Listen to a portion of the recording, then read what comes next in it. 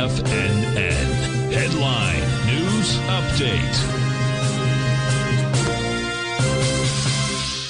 Okay, good afternoon, folks. Larry Pesavento setting in for Tom O'Brien today because he has a little grandson that is now two years old today. Little Tommy the 13th or 14th. I can't remember which it is, but he's a sure cute little rascal, I can tell you that. And boy, he is active. All right, and speaking of active, and speaking of active, we have some really active markets here, folks.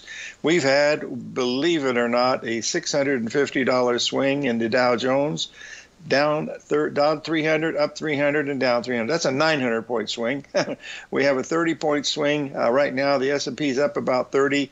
The Nasdaq, the leader of the band, is still up almost. It's up 300 points right now, uh, and the Russell is also up. All of these markets, you know, are extremely strong today. Uh, there's been a big breakout in some of these things that we will uh, be talking about on Tom's show coming up in just a few minutes, and uh, whether it continues on from this level. But the fact that we hit, you know, uh, 40, uh, 42 in the S&P, we immediately dropped uh, 45 handles in the matter of about uh, 40 minutes. So there was some major selling up there at that time. That's when the Dow Jones had been down 300 it was up about 50 at that time, and now it's down uh, almost 300 again right now. Gold also uh, had a big move, uh, had a big uh, number, the 786 number, and the gold was up there at 1977.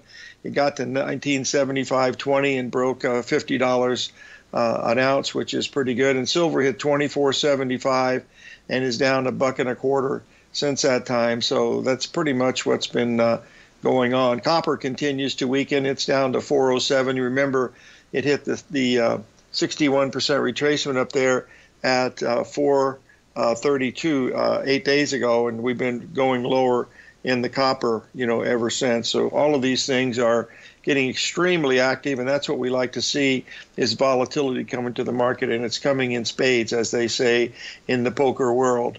Well, we want to wish little Tommy Jr. a happy second birthday because uh, he's a beautiful little boy, folks. I get to see pictures of him all the time, and it's a it's a real treat to see how Tommy uh, Jr. is doing as a father. And boy, he's he's doing a pretty good job. Anyway, we're going to have some fun here on Tom's show next. I'll be talking to you about some of the things that we've learned this week. So live every day in an attitude of gratitude, and may God bless. And stay tuned for the Tom O'Brien Show.